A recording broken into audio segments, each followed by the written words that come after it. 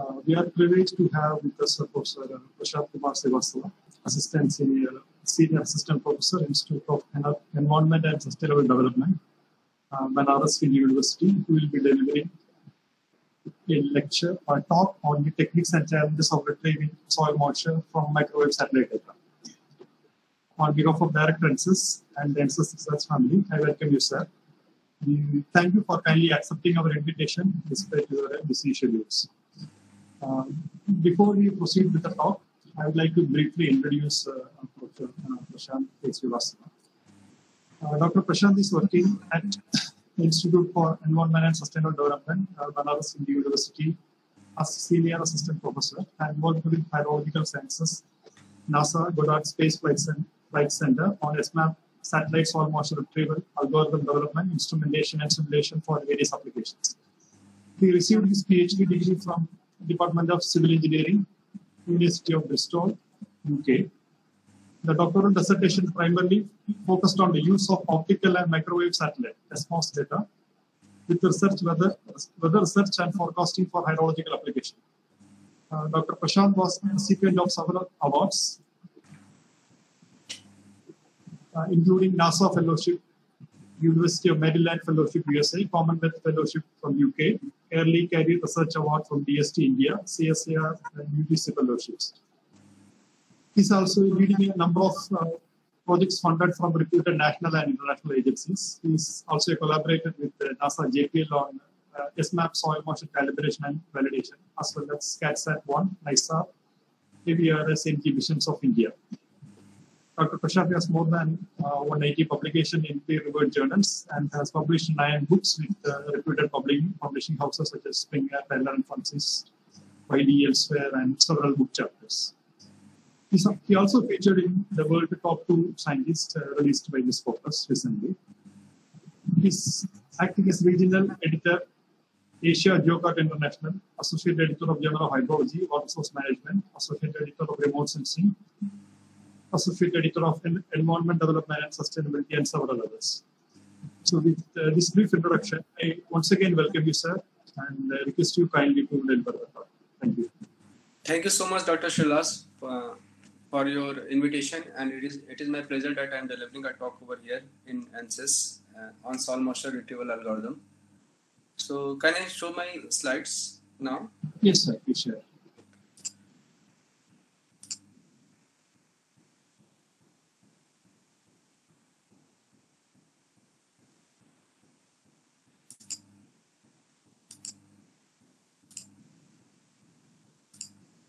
So is, uh, is it visible? Yes, sir. Yes, sir. Okay, okay. So uh, my topic is micro, uh, microwave satellite soil moisture retrieval techniques and challenges, and why I choose this topic and uh, why uh, we are working on this soil moisture retrieval uh, because of its importance in our so many applications. Like we started from our defense requirement, natural disaster management, even our hydrological balance, and so many other applications. So before starting this soil moisture, uh, what we understand with the term this uh, soil moisture, so it is the amount of water that is contained in the earth surface. And uh, generally we are measuring this soil moisture by using two methods. One is called volumetric and second is called gravimetric basis. So if you see a soil system, it is generally composed of uh, three things, uh, volume of air, volume of water and volume of this uh, soil component. So if you are going with the, this volumetric soil moisture content, so it is simply a ratio of your volume of water and your wet surface like VW. So it, will give you a ratio that uh, how much is the wet surface volume and how much is the your total volume contained in the in that soil surface. So generally with the help of satellite we are measuring this volumetric soil moisture content and if you see the VWET it is the sum of all these three things. So if you sum air and water and then soil then you will get a uh, wet volume. Similarly, if you give the gravimetric, it is uh, it is measured um, uh, mostly on the uh, weight basis, and you can say it is the mass of water divided by the mass of the soil. So it give it gives us a gravimetric soil moisture content. So if you see the measurement of both gravimetric is generally we are measuring for since a long time by using uh, we collect soil sample from the ground, we dry it uh, two three days, and then uh, we calculate the difference between the fresh soil and the dry soil and based on that we uh, give you the gravimetric soil moisture content. But measuring this soil moisture content um, in the ground is quite tedious. And if you see, if you are measuring soil moisture at one point, and if you are going to measure a soil moisture on another point, it changes because it is uh, uh, changing at a uh, changing with the topographical conditions, soil condition, and other land, land surface processes. So it is changing. Uh, you can say every 10 meter, 20 meter, soil moisture gets changed, or there will be some variability in that soil moisture. So with the in situ measurement, it is not possible to get a detailed idea of uh, your uh, surface. So that's why we are going with this soil moisture measurement using this microwave technique. So I will come uh, with detail on this technique. So before this, why, why this soil moisture is important? So we already know this soil moisture is very important from our hydrological processes. Like it, it uh, uh, based on this, we predict our hydrological cycle. We can map our hydrological cycle. Uh, it is also uh, related to ecosystem functions. Like if soil moisture is uh, is good, if soil moisture conditions are good, then there is a more microbial communities there. Soil is fertile, and it also support our different functions like uh, movement of ions in, in, from soil pore to the plant and, and, and, and the vice versa. Similarly, it is also uh, link our uh, groundwater, our surface water, and so many other things. So it is also uh, a, a, prime link between this uh, groundwater movement, or you can say movement of soil um, uh, rainfall into the ground, and it links our this type of system. And again, it is also important for our, our energy and carbon cycles. And if you see why uh, we are focusing on this uh, soil moisture measurement and why there are so many dedicated satellites uh, launched uh, to map uh, this soil moisture, you already heard about SMOS mission, that is soil moisture and ocean salinity launched in 2009. And after that, another satellite called SMAP mission, soil moisture active passive, it is also uh, launched to measure this soil moisture values in, back in 2015. So there are a number of missions are already launched and number of missions are coming up to measure this soil moisture. Like there are there is one upcoming mission called NISAR, NASA ISRO Synthetic Aperture Radar. It is a collaborative mission between NASA and ISRO, and they are going to launch the L and S band uh, satellite. So that is also one of the prime goal of this NISAR is to measure this soil moisture. So if you see the, this application that it is required in our weather forecast application, many people use this uh, soil moisture as a uh, input variable in uh, data assimilation so that they can improve the forecast of rainfall and subsurface uh, variables that is related to land surface models. It is also a, a give us mechanism that how the soil moisture changes our local microclimatic condition, how it changes the formation of clouds and all those things. So it, it is a lot of application in weather forecast. We are also doing this for agricultural water management. Like one of the prime thing is irrigation. So how we are using this soil moisture for uh, irrigation scheduling and demand assessment how we can uh, because if you know the status of soil moisture in uh, in your field then you can based on that you can decide how much to irrigate and uh, based on the soil moisture forecast you will know that uh, when uh, you need the irrigation. So based on that you can uh, designate the proper irrigation amount for different fields. So it is also an important thing in policy decision regarding the that canal water distributions it is also a very important component for natural disaster management. Like we know that if there is a prolonged dry condition, then it causes drought. And if there is a surplus amount of soil moisture in uh, moisture in uh, heavy downpour or a little amount of downpour will uh, cause flood flooding situation because if soil is already having a lot of soil moisture, it will not absorb the rainfall. So that will convert in the form of rainfall, rainfall uh, runoff. And if there is a lot of uh, if there is a heavy rainfall in that area then it, it, may cause flood also. So it is also one of the important component in disaster. Similarly crop insurance agricultural productivity if you are measuring a soil moisture at a timely interval then you can uh, optimize your production also because it is found that even in three or four days of delay in irrigation cause a uh, uh, uh, substantial loss in, in, in your yield so it is also one of the important component in agricultural productivity. That's why IMD and other agencies are trying to go with this soil moisture uh, things. They are installing sensors so that it, they can make uh, agriculture more precise. And again, in the defense, defense they need soil moisture measurement because uh, they are whenever the army or uh, there is a movement of army, they, they want to know the land condition. If it is very damp, there is already a lot of moisture there, then it will it will cause uh, problem in movement of their troops, their tankers, their other ground vehicles. So it is one of the things that they need so that they can uh, uh, uh do the land trafficability in a better manner. So it is also an important component of uh, of uh, defense. So you can see that this soil moisture is needed in mo- almost most of the application that we are using in our research and development and as well as in defense. So how we can do this soil moisture measurement? So if you see there are a number of techniques available. Like uh, initially when there are no instrument sensors available, farmers, farmers generally go to the field, they take the soil by feeling that they say that today's soil is dry and uh, there is a there is a need of irrigation. If they touch the soil, they feel slightly um, uh, cold or moist condition in, in, that soil, they can tell okay today or for next three four days there, there is no requirement of irrigation or something. So that is a qualitative method. In qualitative method, we can say irrigation is required or not, but we cannot say how much is required.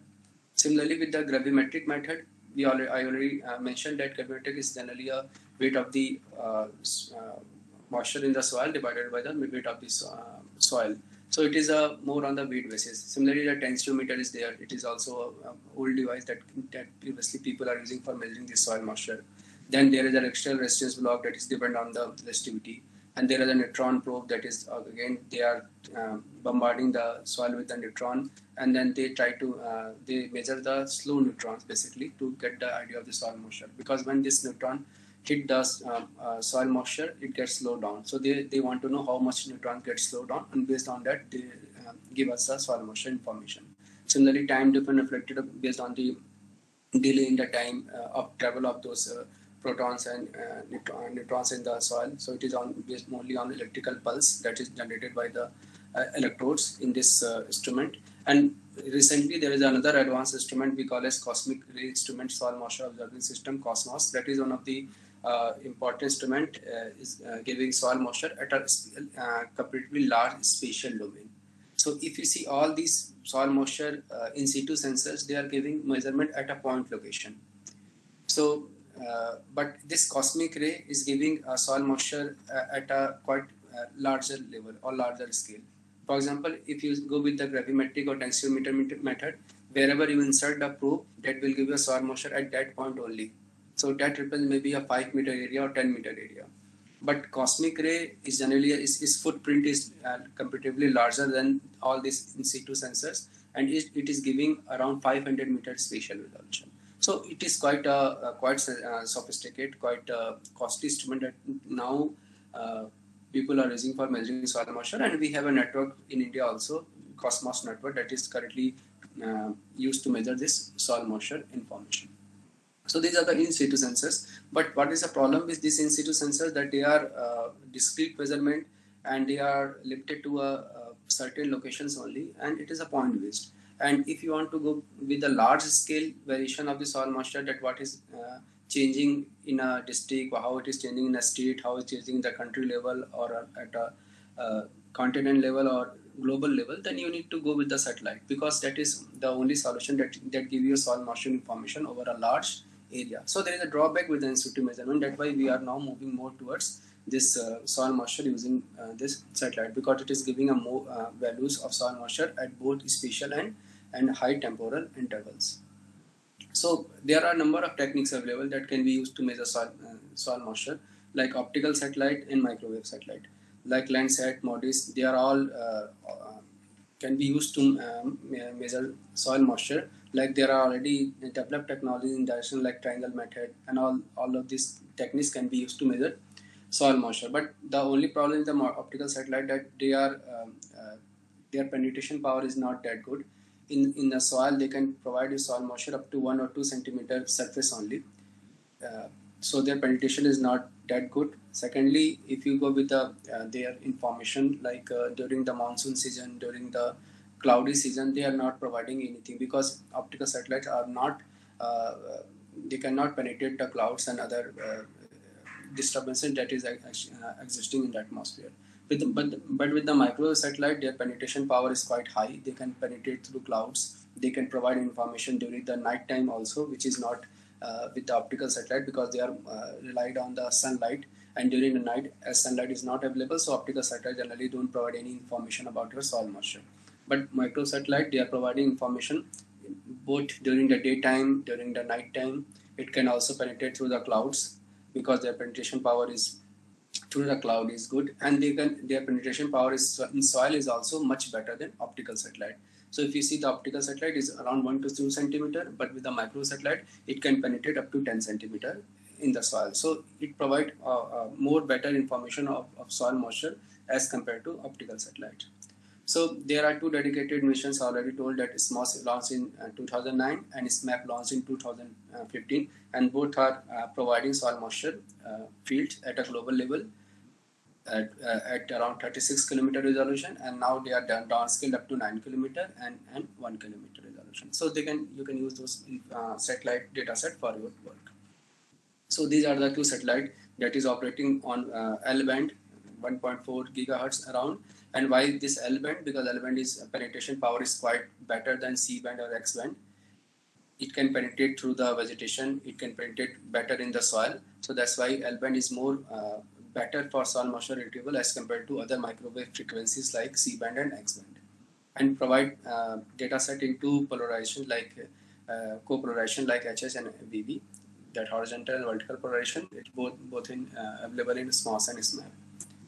So as satellites are coming up and if you see the indian condition if you see the global condition it is much different. If you see the uh, farms and lands in the uh, us or europe and if you see the farming condition in india it is totally different. Over there fields are very large quite homogeneous but in india fields are very small size uh, heterogeneity is very high and size of field is also very small. So that why heterogeneity is very high in indian condition if you see in, in a one acre of plot, they are generally uh, uh, growing uh, two, three crops. Some are growing vegetables, some are growing some wheat or some other seasonal crops, but there are heterogeneity exists in that area. But if we go with the US system of agriculture, they are very large acres of land off of the same crop only.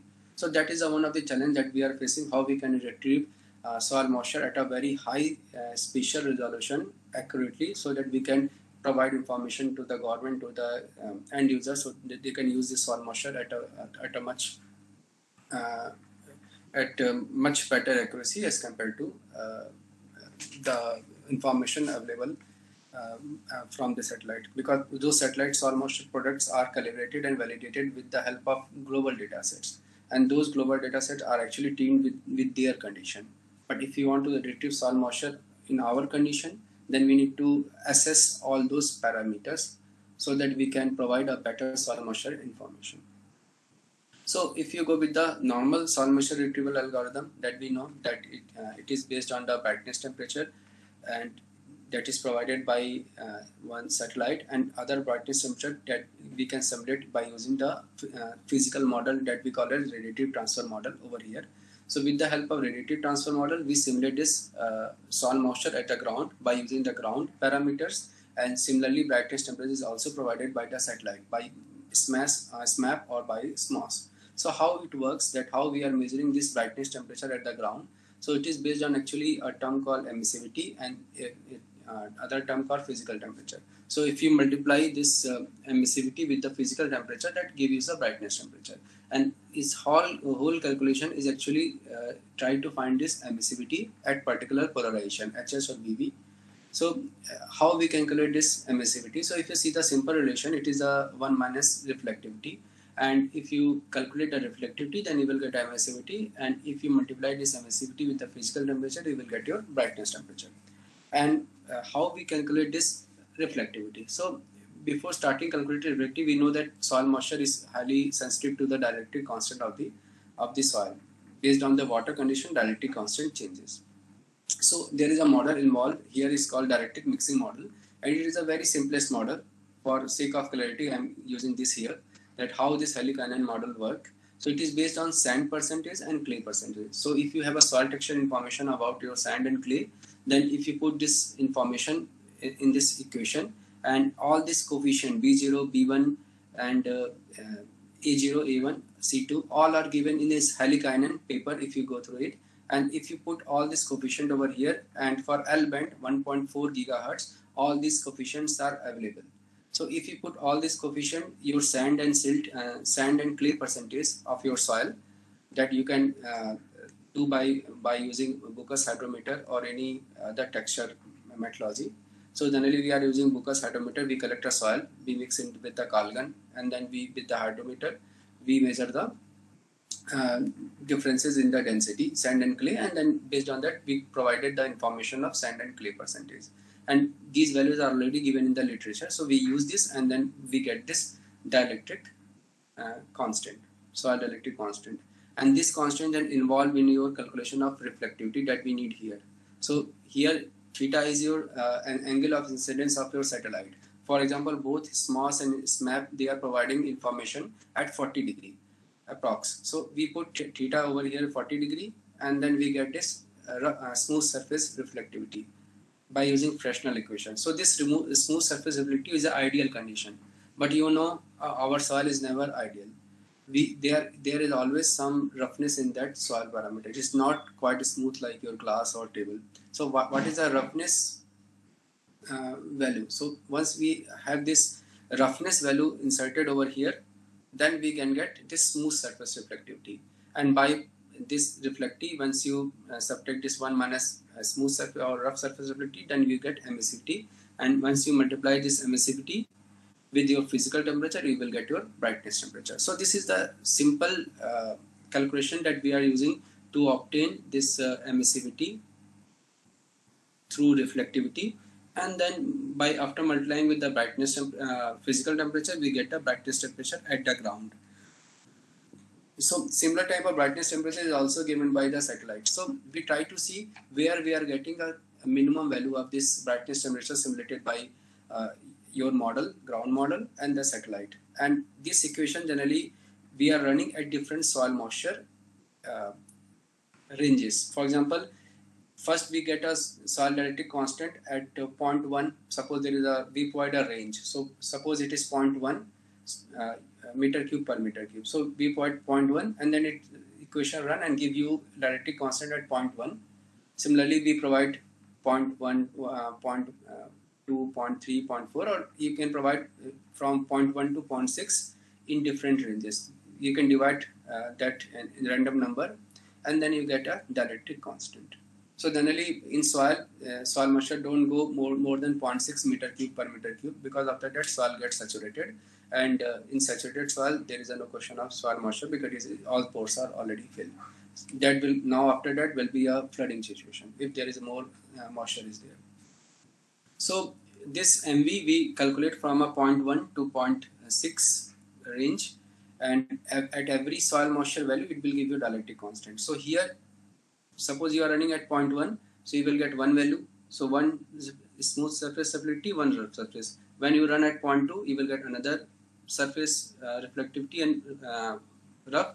Same way if you divide that 0.1 to 0.6 in 100 uh, fractions then you will get uh, this 100 ranges and you will get 100 value of this uh, uh, dielectric constant and similarly you will get this reflectivity and then emissivity so here you will get 100 values of brightness temperature so your model give you 100 value of brightness temperature because you are changing moisture condition over here.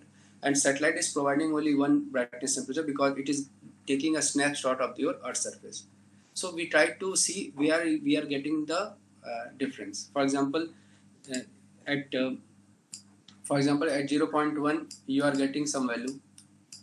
So you, uh, this is at MV MV 0 point you are getting um, uh, some dielectric constant value Similarly, at MV 0.2, you are getting some. And if you put this MV value, you, you are getting this, and then this, and then uh, your rough surface, and then getting emissivity. So at 0.1, what is your brightness temperature? 0.2, what is your brightness temperature? But and satellite is giving only one brightness temperature. So this is from satellite, and this is from your ground. That is uh, by using this model ground. So we try to take the difference where we are getting the least difference. For example, at point one, we are getting difference between satellite and ground. Point two, we are getting some difference, and where we are getting the least difference, we declare that is the soil moisture of that particular soil. So for example, at point 2 you are getting uh, brightness temperature of suppose 340 Kelvin at uh, from your model and satellite is giving 341 so if you take the difference then it is 1 but at MV 0.1 you are getting uh, 339 from your ground and satellite is, is satellite is fixed is around 341 so take the difference here. So it is around 2 Kelvin. So here difference is less and when you are getting less difference at 0.2 soil moisture value uh, sorry so 0.2 soil moisture value so this is your soil moisture uh, uh, reading. So this way this equation is running from 0.1 0.11 0.12 0.13 so we are providing a range from 0.1 to 0.6 and at thousand of ranges we generate this and then we calculate uh, difference between the satellite provided that is generally fixed. Supposing in this case is 341 and we try to find what is the value at 0.1 0.2 0.3 0.4 0.5 and this way we calculate the uh, difference and see where we are getting the least difference and where we get the least difference that is your soil moisture value corresponding to your MV. So approach is very simple and this is for soil.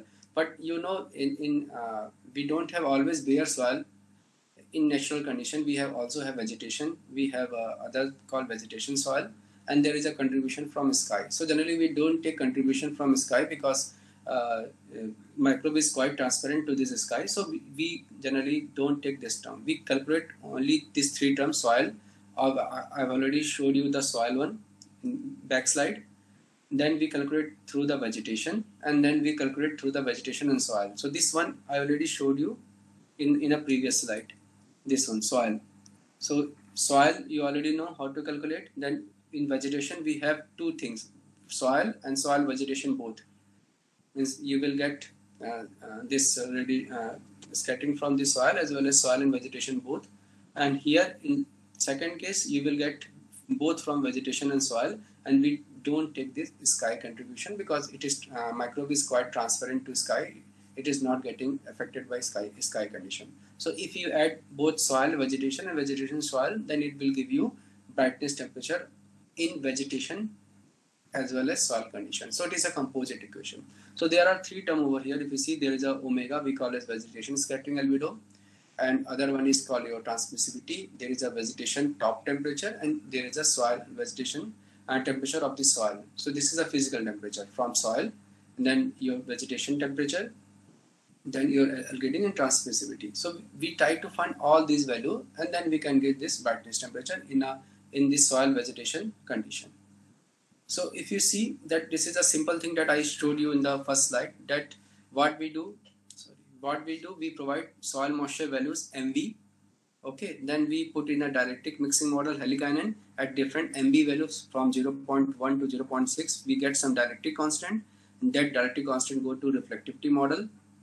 Then we get reflectivity at smooth surface. And then we include our roughness h and q parameter the roughness parameters and then we get reflectivity over the rough surface then we get uh, temperature over the land, temperature over the canopy, the TV and TS, and then we don't take any sky contribution, and then we get total radiativity transfer over the land, and then we get that TV brightness temperature.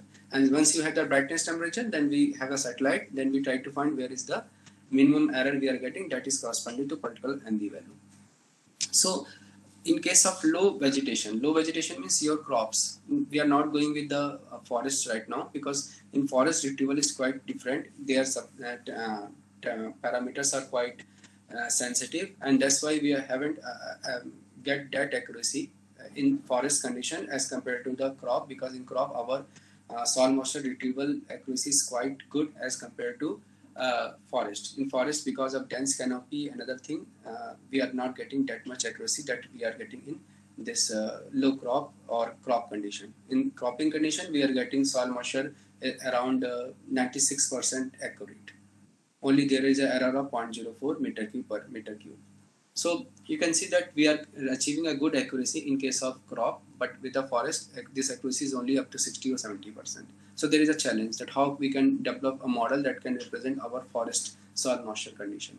So coming to this uh, simplest model, we call as tau omega model. Tau is your optical uh, depth and this omega is scattering albedo and how we can do this uh, uh, uh model sim uh, by simplifying that previous equation that I showed with the soil, soil vegetation and vegetation only. So if you see, we try to calculate all these value. So in, in a low crop condition, we assume that this uh, uh, ground temperature, physical temperature at the soil surface and uh, temperature at the vegetation top level like canopy. We assume that that is equal because that is a low height crop so there is a equilibrium between the soil surface and the vegetation top. So we assume that these two temperature are equal. So instead of using uh, two different temperature tc and tg we use only one temperature over here either from the ground or from the soil canopy and we put over here and second assumption that we are taking over here that this omega vegetation scattering albedo in case of uh, uh, crop, grassland crop, it is not that much. So we assume this component as 0. So you can say it, it uh, revised to 1 minus 0 and then here TC and TG are equal. Then you have to find only two things over here. One is your reflectivity and the transmissivity. So how we can find this reflectivity and transmissivity is very again based on very simple uh, approximation that this uh, transmissivity is a function of this tau and cos theta. Theta is your 40 degree that I mentioned that SMAP and SMOS both are providing soil moisture values at 40 degree. So theta is 40. We need to find this tau. If we can find this tau, then we can get this transmissivity. And this transmissivity you can put here. The scattering albedo we are already taking as zero. And then this reflectivity we need to use some dielectric model like Hallikainen. By using Hallikainen, you will get reflectivity. If you put over here, then you will get your brightness temperature over the crop. So this is a, some of the question that we are uh, using here that how we are using this uh, ground temperature and if, if it is available. For example, if you are going in the field, then you can measure this canopy top and ground temperature and then you can put over here and you can vary this uh, A value, A we can calculate by using this equation. So it is uh, further advanced form of this, but if you don't have A or BT value, you can directly uh, employ this uh, TG and TC equal and RGP, calculate your RGP and transmissibility and put over here, then you will get your uh, uh brightness temperature by using your uh, zero order this tau omega model. And simply we have a satellite. Again, we do the differencing and see where we are getting the minimum error and then we uh, take as a corresponding soil moisture values. So this is one of the thing that we use during the, our Goddard uh, campaign that we have this uh, ComRAD system we, in which we uh, have both this radar and radiometer in this uh, cylindrical antenna. And by using this we are measuring uh, the uh, brightness temperature of the ground by using this radiometer and radar. And as well as we have this airborne campaign data and we try to see that how good is the, is the sensor when we are using at the ground and when we are having at the uh, aircraft. And then we try to see that how good is, is the uh, accuracy. So in this radar and radiometer we are getting the brightness temperature we are getting the radar based uh, other indices and then we are trying to calculate this uh, tau tau values. So i will show how to calculate the tau values. So in tau omega model one of the important component is uh, your reflectivity. So instead of using the Hallikainen model because it is empirical model heavily based on soil and clay form, uh, sand and clay formation, we are using the Mironov. Mironov is more physical model. This is not an empirical model. So it is giving you a more better dielectric constant uh, model value as compared to either Dobson, Wang and Schmugge and the Hallikainen.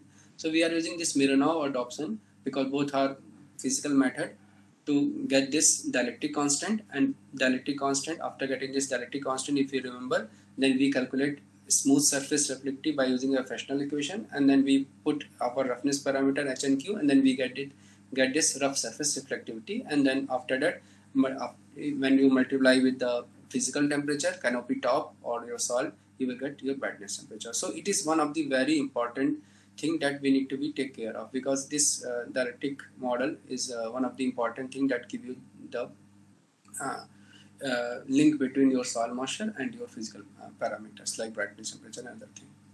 So here, how can uh, we measure that three parameter roughness, that H and Q, because this H and Q, if you get, then you will get your rough surface reflectivity, how we will get a tau, and how we get this vegetation scattering albedo omega. So how can we can obtain all these three parameter because if you have all these three parameter, then you can uh, monitor your brightness temperature.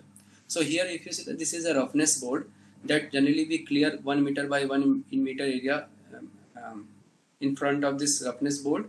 We clear it and then we take a photograph and then we digitize this uh, uh, surface and then we calculate this correlation length and the root mean square height and we put in a, equation to get our uh, uh roughness parameter h and q so once you have the roughness parameter by with the help of this uh, uh, roughness board. This is one you can see this is a unit structure one centimeter by one centimeter and this board length is one meter. So we get this information.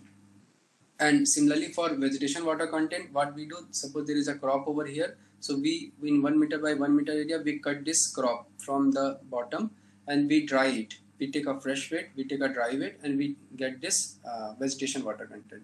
So here in, for vegetation water content uh, in front of this roughness board we take after cutting the crop we put in a brown bags and then we put in the oven to dry it. So before putting the oven we take a weight in, in the field only so uh, to get a fresh weight of that uh, stubbles or crop.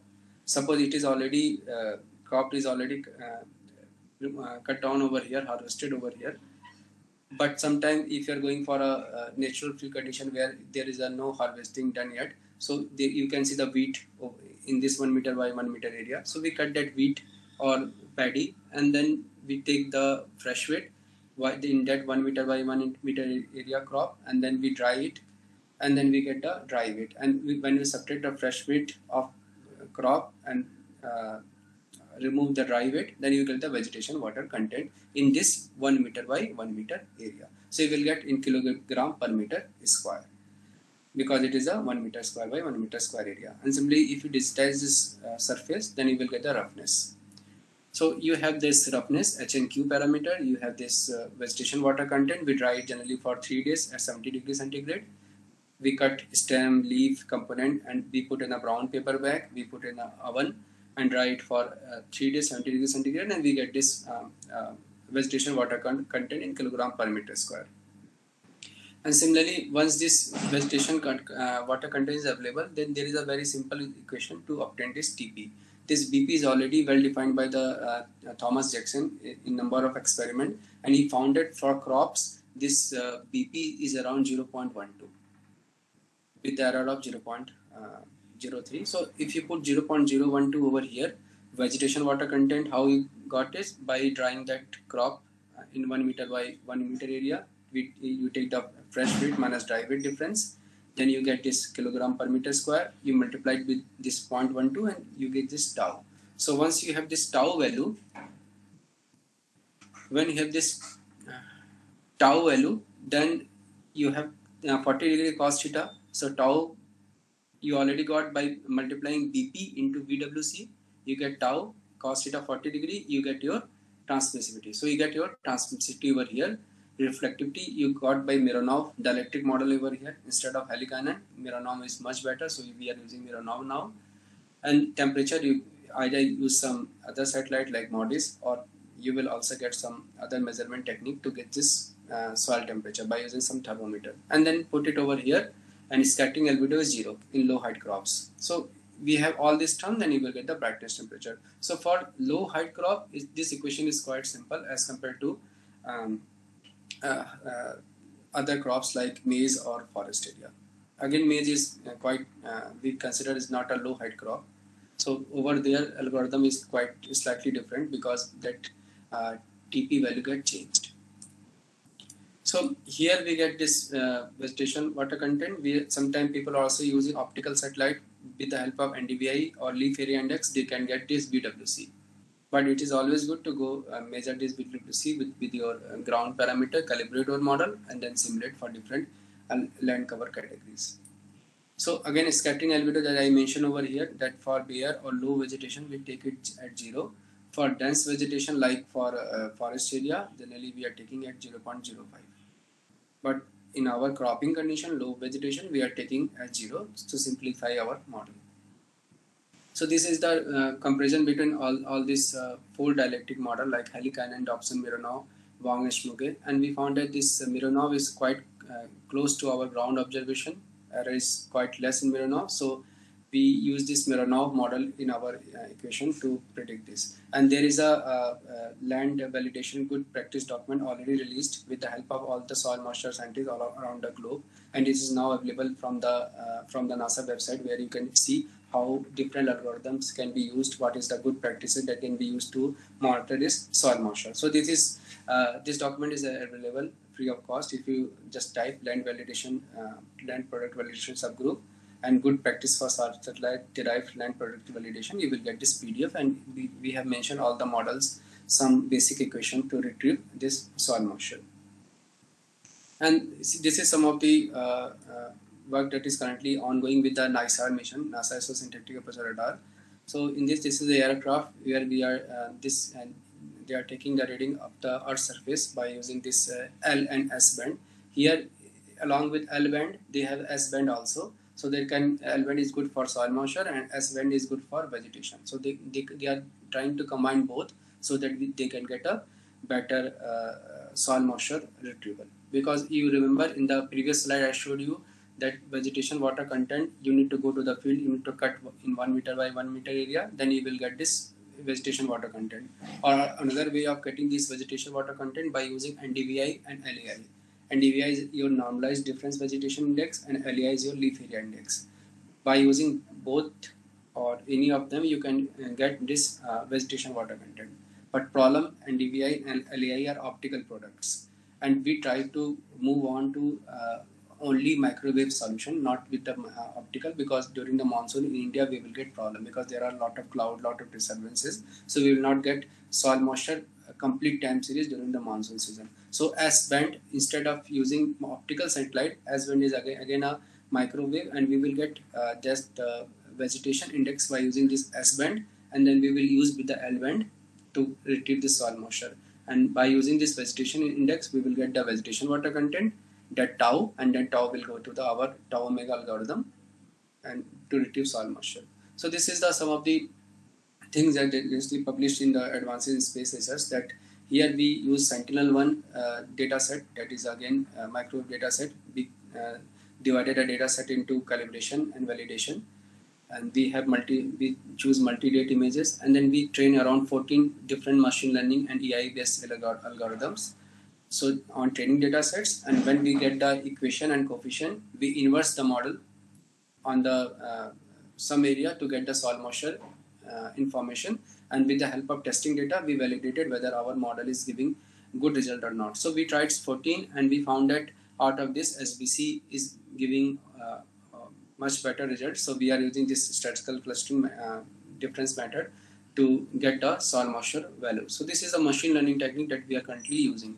So you can see this all machine learning uh, uh, problem with machine learning that you need to tune all those parameters so we use SVM, we use random forest, multi-layer perceptron, RBF, WMSVC, and so many uh, different uh, uh, version of uh, fuzzy information system, like uh, uh, uh you know, uh, hybrid and discrete, and then this um, this neuro method.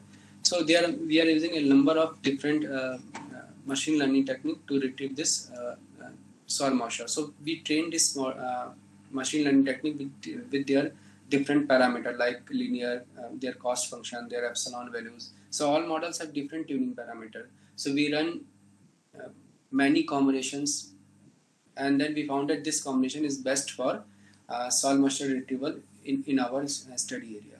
And then after tuning it, we retrieve the soil moisture by using all this method. And we found that this is during the uh, 21st December phase that after tuning the model, we got the coefficient and then we predicted and by using this coefficient we predicted the soil moisture values over the Varanasi uh, our calibration validation site calibration validation site. And then we all also tested in, in a different uh, season also. Like this is a December image and we tried to test on the January image that it, what, what is the accuracy level. And we found that uh, SBC and this uh, ANFIS is giving uh, much better result for soil moisture retrieval. You can see in the Taylor diagram that it is quite close to the our this one and if you see here this is giving a, a much better result during the calibration but during the validation uh, SBC and this uh, um, what colony fish is giving much better result for soil moisture retrieval. So we used finally this SBC to measure this soil moisture over this area. Similarly, we tried at a satellite level that recently uh, one of our PhD student published this paper in JARS that she tried to, uh, because uh, if you see the SMOS and SMAP spatial resolution, it is around uh, 36 kilometer. So one pixel size is 36 kilometer and it is quite coarse. But in one uh, 36 kilometer by 36 kilometer area, you are getting only one value. But if you are going for the uh, local application, then you need a high, high resolution data sets. So in this work, we try to downgrade or uh, disaggregate this data from 36 kilometer to 9 kilometer and then to 1 kilometer. So at, at the last, by uh, using uh, this algorithm, machine learning algorithm, we downscale this data from 36 or 9 kilometer to 1 kilometer and then we provided the uh, uh, 1 kilometer map. So in this, we also use our in situ soil moisture network over here. That is also uh, in, uh, we are already developed with the help of ISRO, and then we tried in different uh, area that how this overall equation is performing, and with the help of this SMAP, with the help of our downscale, with the help of in situ, we do the performance evaluation, and then we release this product. So uh, here, here you can say that this is your uh, LST land surface temperature, then one kilometer. We have NDVI one kilometer, then we down uh, means downscale that SMAP to one kilometer. So this is your SMAP based soil moisture values, and it is giving quite uh, uh, in it is in agreement with our in situ soil moisture. Similarly, we are trying at a uh, uh, soil moisture retrieval at a higher spatial resolution. It is a, one of the project that is funded under SCATSAT one utilization program and this we, we are doing the spatial resolution of the soil moisture by uh, using only uh, microwave product so in this case we use both uh, optical and microwave uh, fusion but in this case we are using uh, fusion of microwave with the microwave so here we are using SCATSAT 1 back backscattering and then we try to uh, downscale or disaggregate this 36 kilometer coarse level uh, SMAP a SMOS, SMOS data set with the help of this SCATSAT backscattering which is available at 2 kilometer to a 2 kilometer soil moisture product. So this is one of the equation that we are using um, by disaggregating this coarse resolution pixel with the help of this fine resolution information and then we downscale to a uh, high soil, uh, yeah, better soil uh, product. So here you can see that we are using the backscattering but in this case you need to find this beta scaling function and this scaling function, if we see we are using uh, this VV uh, and uh, this brightness temperature and cross um, copolarization of backscattering. We are trying to get the differences and then we're trying to get the things from the brightness, brightness temperature that is obtained by the microwave satellite SMAP and then we get BL. So this is your uh, SCATSAT 1 satellite that is launched by India and uh, back in 2017-18 and it is you can see that it is a 2 kilometer product that is giving you a backscattering value. Then this is the beta that we by merging that uh, uh, your uh, scaling uh, that uh, backscattering value and brightness temperature. This is scale map. So once you have this beta then these values are already given by the satellite. It is also given by the satellite. Just put your beta it will downscale it. So this beta needs all this calculation. So most of the downscaling algorithm scientists are behind to find the, a better value of beta. So if your beta is good, you can easily downscale this. Coarse resolution soil moisture to small uh, fine resolution. So this is your beta, and then after um, uh, this is your SMAP coarse resolution soil moisture data sets at 36 kilometer, and then we had a beta, and then we disaggregate to a fine resolution data set over the region. So it is it is a two kilometer product as compared to a 36 kilometer uh, SMAP data set. So that two kilometer, because it is a microwave product, so it will be available during uh, monsoon seasons also. So that is one of the work that we are uh, already finished and hopefully that algorithm will be launched uh, from ISRO. And this is the comparison between your uh, ground measured, distributed and SMAP satellite data set that how it is performing. So you can see this is your SMAP satellite data set at a 36 kilometer resolution. This is your ground measured and this is uh, uh, disaggregated or downscale using our equation. So you can say it is in quite a good agreement with your you can say ground measure data set. So your, your accuracy is still not that changed. Accuracy is there, and you, you are now getting a 2 kilometer product instead of 36 kilometer that can be used in different fine resolution applications. Excuse me. This is another work that we are using some uh, more advanced method like triangle method, thermal inertia and dispatch. Again, this is a PhD student published in uh, IEEE TGRS this year only. So in this, we have used different uh, other method like triangle, and dispatch to get a uh, downscale one kilometer product by using uh, uh, coarse resolution 9 kilometer satellite data sets. So again, we have this brightness temperature at 9 kilometer. We put in the single channel algorithm like tau omega. I already showed you how tau omega work with the help of dielectric constant and other thing. We get the uh, soil moisture retrieval in our condition because we provide our input data set based on our uh, Indian condition and we get a, a soil moisture at 9 kilometer based on uh, condition, local condition. Then we uh, use this uh, downscaling method, triangle, thermal inertia, and dispatch. There are three uh, very important methods right now is available that can be used to uh, downscale this soil moisture. And then we compare all this method and we found that this uh, thermal inertia is giving quite better result for soil moisture retrieval. So this is, you can say this is a core solution. One pixel, there is only one value but we downscale to uh, you can say one kilometer. So you can see that same pixel is now disaggregated into several different pixels. And now you giving you can see the uniform value over here but you can see a number of different value over here. So it is downscaled to this. This is by one method. This is by uh, this is by triangle. This is by uh, thermal uh, yes. First one is your SMAP L2 soil moisture. Then after dis disaggregation B is your thermal inertia C is your dispatch, and D is your triangle method. So all these methods you can see that you are used to distribute this soil moisture. So you can see that your uh, this uh, dispatch method is giving uh, quite a better uh, delineation with this our river Ganga. You can see. So it is giving a much better result in uh, this uh, mapping. Here you cannot see the Ganga very clearly. So you can see that dispatch is giving a much better uh, distribution of the pixels as compared to all the two methods. So it is recently published in TGRS and uh, what are the challenges now? So uh, if you see that uh, we are using a number of things. So one of the biggest challenges that we are confined to only one model right now, Mironov Dobson for dielectric mixing model. So there is a need of, uh, if you go with the Mironov model in more detail, that you will see that uh, it is uh, not fully physical model. It is semi-physical. You need at least soil uh, data set in that model so that you can give a better estimate of mixing that dielectric constant.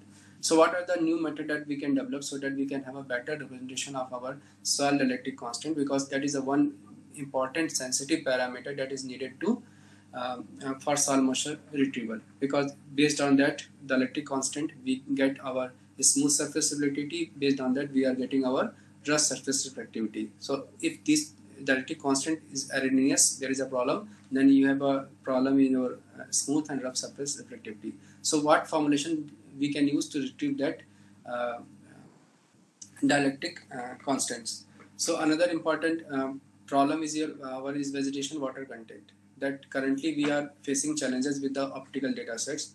We tried to use uh, our SCATSAT 1 for vegetation water content retrieval so that we can get this uh, through vegetation index VWC and VWC we are using to get uh, this tau in uh, for transmissivity calculation. So we need more uh, better solution because we are again using VI and um, uh, for vegetation water content and then we are multiplying with the BP that uh, um, coefficient that is generated by Tom Jackson's Thomas Jackson's uh, ground experiments. So can we try to generate those things for our Indian conditions also? So because 0.12 may be good for their region, but that 0.12 uh, may be not good for our, our region. So we are trying to tackle this problem. We are now did a number of uh, experiment to estimate this vegetation water content. We are trying to re remodel that BP for our regions. So that is one of the challenges that we are currently trying to do. Again, we are taking this vegetation scattering albedo zero. But actually, even it is a low height crop, there must be some scattering to reduce the burden on our server to get a better representation of the uh, better simulation of the soil moisture because what happened? We are not uh, simulating just for India or just for our state. We are simulating for whole globe. So if you are putting a lot of uh, heavy models in your uh, program, then you will you will not be able to generate soil moisture product at a daily interval. Because you are generating product the soil moisture product at a, a 6 a.m 6 p.m time. We call as ascending and descending overpasses. During both we are getting this soil moisture. And we are running that uh, equation for whole globe. So if you put very heavy equations for vegetation scattering albedo actually equation is very heavy there are number of equations are there. If you put all those equation in your uh, retrieval model then you, uh, your system uh, it will not be able to provide a soil moisture value at a uh, daily interval uh, in, in, a real time. So that's why uh, we need to see some solution how we can have this vegetation scattering albedo by simplifying that equations so that instead of taking omega as zero we have will have some values so that is one of the challenges that currently people are working on how we can get this scattering albedo term by using some physical equation instead of putting just 0 or 0.05 or something. So how we can calculate it, how we can integrate, that uh, omega value. Again, we are trying this fine resolution soil moisture height higher in temporal scale resolutions because 36 kilometer is quite coarse. We need a uh, soil moisture at a sub kilometer level because initially we are up to one kilometer. So can we provide soil moisture at 500 meter, 250 meter, 10 meter, something like this at higher temporal resolution because Sentinel-2 data is there, Sentinel-1 data is there. Their temporal resolution is uh, now because of twin satellite is allows six days or 10 days. So we can provide up to 20 meter uh, soil moisture values. But problem is uh, those temporal resolution is not that good. If you need daily data sets, then those satellites are not good. So how we can tackle this solution? Can we integrate some uh, land surface model with this so that we can provide uh, this soil moisture data set at a higher spatial and temporal scale? Again, uh, if uh, there is a need of assimilating this soil moisture in our regional circulation model so that we can improve our weather forecasting capability.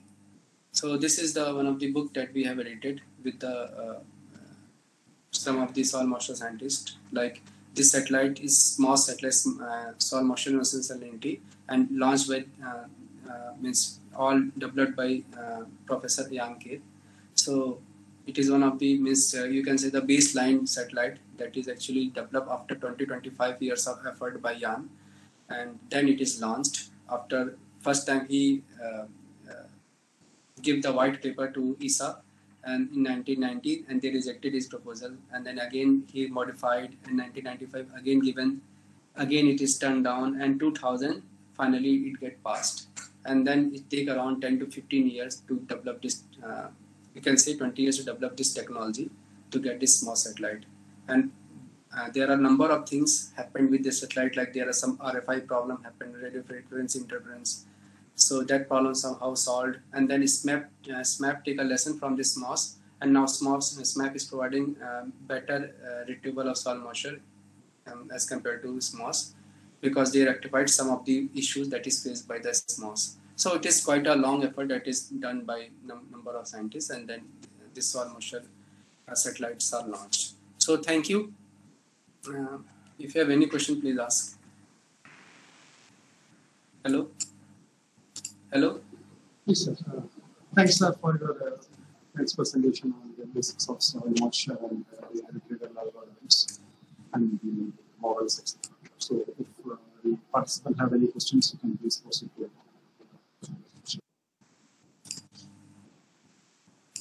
Um, hello, Srilash. Yeah. Uh, may I ask you a question? That uh, whether uh, this uh, when heavy rainfall or or uh, heavy wind condition, is there any difficulty in retrieving the uh, soil moisture from satellite, uh, or what could be the challenges associated with the, when such kind of a system occur? That is my question. Thank you, Rashmi. Actually, whenever there is a heavy rainfall and uh, it is for a, uh, you can say even 15 minute, 10 minute, then there is a saturation of soil happened because of this rainfall. Okay. So instead of saying the soil moisture, we are saying that it is a waterlogged situation because all pores are filled. So we don't say it is a soil moisture values over there because there is a, a flooding situation over there if there is a heavy rainfall. In light drizzle or something, uh, soil absorbs some part of the soil moisture, uh, soil uh, miss that moisture. And if it is not saturated, then we can get some information. But if it is saturated, there is a heavy rainfall, so we don't retrieve that soil moisture because then we flag that value as uh, porous chill failure. bec- because that time uh, that soil moisture is more than 0.6 meter cube meter cube. It means all pores are already filled. Okay, okay. Sir, I, I have a question. Uh, since, uh, mm, along the challenges which you said, I also have heard that this uh, microwave satellite that uh, does not work well on uh, like uh, hill slopes or a mountainous terrain.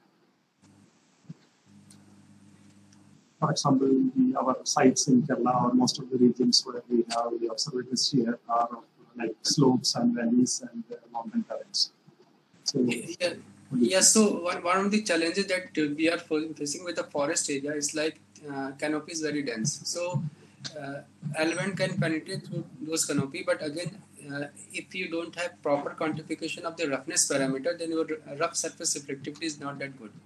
So what uh, we can do that uh, we need to prepare uh, for at least for our country we need to prepare our roughness data database if we have the roughness database for the Kerala regions, for the other regions, then we will have some idea that how roughness is changing in your area. And we, if we incorporate those roughness parameter in our model, then accuracy uh, will be improved.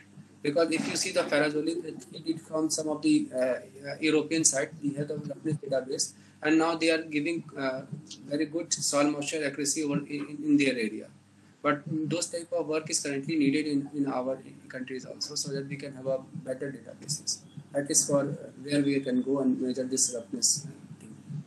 uh, this is soil, soil roughness. Soil roughness. yes and soil parameters right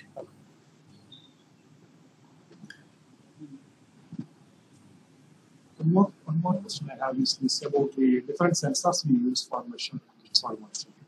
Some some use the STDR technique, sometimes uh, FDR, and then several type of sensor. For example, we use this delta T device, Hydrus. Uh, these Hydrus, Hydrus say that they have a uh, dielectric impedance reflectometry, which has both a uh, imaginary part and the real part kind of thing. So they they argue that they have the best uh, sensors in soil moisture and SMAP usually prefers hydrous soil moisture data. Is the yes hydroprobe, hydroprobe soil moisture data. yes we, we have a hydroprobe network here that we are using this hydroprobe network to monitor this surface and subsurface soil moisture and we are calibrating actually our parameter by using the hydroprobe data sets only because with the cosmos uh, uh, what is the problem that it is a uh, it is good in spatial resolution means their footprint is quite high but penetration we are not sure because it is varying quite a lot in different soil condition so if you're going with the subsurface surface then it is good to be go with the hydroprobe network and regarding i think you uh, uh, because there is some breaking breaking in your voice so i'm just catching the keywords and trying to answer so uh, can you write two or three lines over here in the chat box because I uh, your voice is breaking down. That's why I'm not able to hear your questions very clearly. Okay. okay. Uh, so in the meantime, if someone else have a question, you can post this. Yeah. Hello, sir. Good evening. Good, e- good evening, Rajat. Sir, I have a question uh, in the slide that you have showed that you have used uh, several machine learning models for soil moisture retrieval.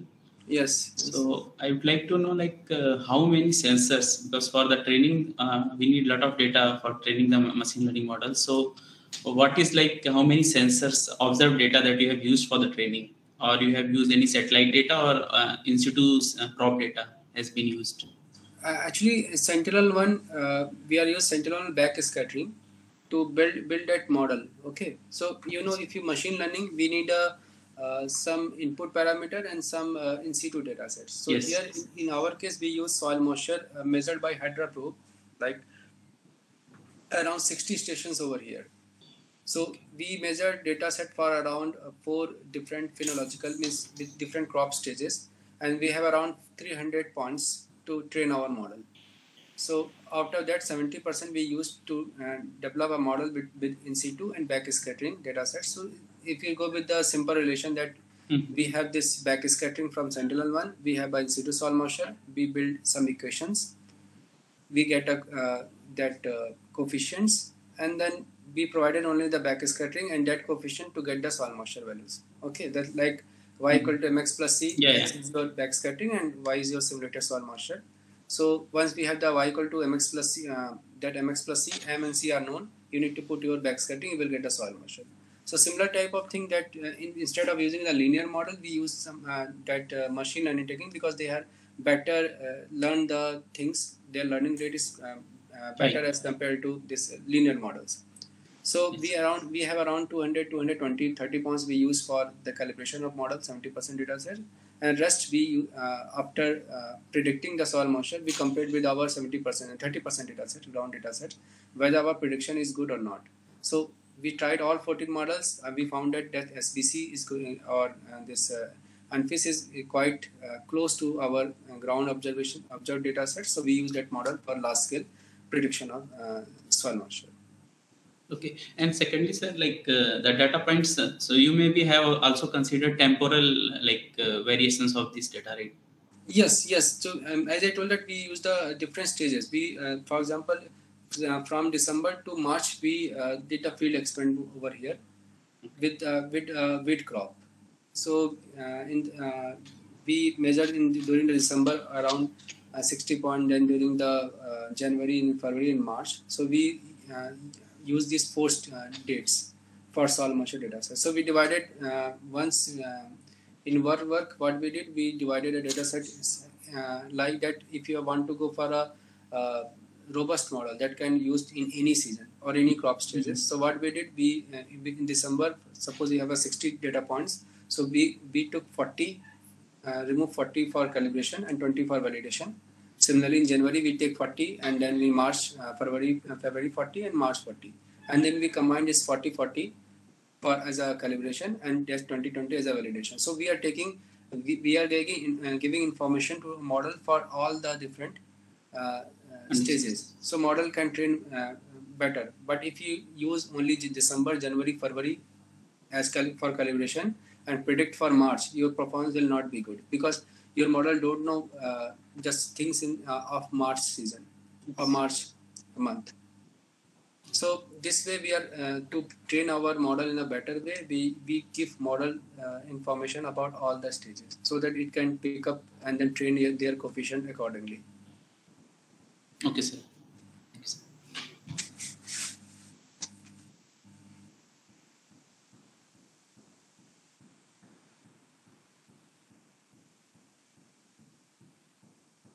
Okay, okay, Shilas, very good question, and uh, uh, I can see that uh, uh, with the uh, this uh, Hydra probe actually we over there we compared these two three devices that we have that Delta T and this Hydra probe, and there is one more devices that provided by their preferred by their government. So we compared and we found that that Hydra probe is quite close to is quite accurate as compared to that gravimetric soil moisture content. So what they did they take the gravimetric soil moisture, they calculate the, uh, this bulk density, and they get the volumetric soil moisture over there. And then they then they compare with the delta T hydroprobe and, uh, and other devices, and they found that the hydroprobe is quite close to the uh, that uh, uh, gravimetric matter, so that's why they are using. But uh, again, it is like a you can say government things also because if you see that recently ISRO is launching another uh, develop another soil moisture net, uh, sensor called Shul. So now, uh, whenever you apply for soil moisture uh, probe and something, they will recommend that use Shul instead of using uh, costly Hydra probe or other devices. So sometimes it's all you know things that we need to use because a Shul or that is an indigenous and it is quite close to Hydra probe information and everything. So now we have to use Shul uh, instead of Hydra. But we are now currently stick to the Hydra because we have a large legacy of data set around four of uh, four years.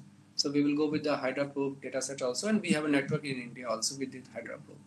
So uh, you can say that it is very tough to get a uniform measurement all over there until unless there is a consensus that uh, government decide that all are using this type of sensors only. Then again, there will be question then why you're uh, uh, popularizing a political company only. Even if you say that accuracy is good, but they will ask that why you are, you, are, you must have some your uh, internal benefit. That's why you are uh, popularizing some particular company. So there are a number of issues. So whatever we have, we have to use it. Otherwise, uh, we'll never be a you know good ground data sets. Thank you, sir. Any more questions? Uh, yeah, I have one more question. It's a gen- question. Suppose we have a, um, a forest canopy, as you mentioned, it will be very difficult to estimate the uh, soil moisture from the satellite technique.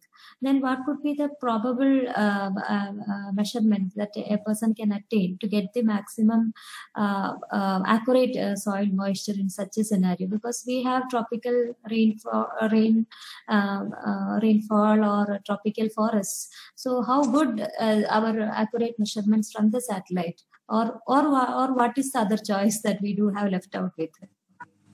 Okay, so uh, actually one of the thing that currently we are uh, facing that, that I, I mentioned that roughness parameter. So we need to have uh, a better database of roughness in in, a, our- in our forest area. First, we need to do that, and I think if you if we do a rigorous uh, measurement in our forest, in maybe one year or eight month, nine month, we will have a very good roughness database of our forest. So first we need to do that at least for for example in Kerala we can uh, implement that or we can use that in some of the area where we have a good uh, means people those who are doing the ground sampling and the thing they can also do. So we, we, we can build a database because manpower here in India is quite higher as compared to uh, develop- developed countries. Here many people are doing PhD, many people are doing this type of research, so that thing is possible. Second thing, uh, with the like uh, uh, optical data sets, it is not very easy to get the vegetation water con- content because their penetration is not that uh, good through the canopy also. So now there is a uh, need of another sensors like S band or something because S band is giving much better forest uh, prop, uh, forest property as compared to your optical. But for a meantime, it is good to go with the LAI to get the vegetation water content, better measurement of the roughness parameter, so that we can improve our uh, models. Model is um, mostly more or less same. You need to go, go with all those things like dielectric mixing model. You need to calculate the physical temperature of the canopy, physical temperature of the soil. So that is another problem that we can get a physical temperature of the canopy by using uh, this uh, optical satellite, but at the ground is very problematic because your lights cannot penetrate up to ground in, in a dense forest. So we can get canopy top temperature, but it is tough to get a uh, soil temperature. So we need to see how we can get with uh, that soil temperature with the help of other models like um, your mesoscale model like WRF and other. So if we merge this mesoscale model, regional circulation model with our uh, satellite retrieval technique, then accuracy uh, may be improved. Yes. yes. So that's we are thinking that better uh, instead of going with a direct tau omega model or something because tau omega is for uh, low crop. If we're going with a rate transfer model, Mhm. so we, maybe we can go with the assimilation of the soil moisture, satellite soil moisture to provide the initial condition and then retrieve soil moisture in the dense forest area. So that can be the another approach. Okay. okay. So first we need to look at this roughness measurement. So how we yes. can get a better roughness value because once we have the roughness, then we can get the reflectivity and emissivity of that forest. Okay. So if emissivity is good, then our problem is little bit uh, solved because we have we have at least canopy top temperature. So Yes. Yes. Mm. Thank you. Thank you. thank you, thank you, Rishma. Thank you, thank you.